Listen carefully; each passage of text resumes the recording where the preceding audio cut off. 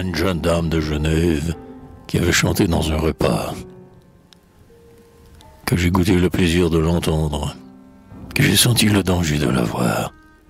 Dans tous ses traits, l'amour mis son pouvoir. Maman m'a dit qu'elle lui fit un cœur tendre. Je suis venu trop tard pour y prétendre. Mais assez tôt pour l'aimer, sans espoir.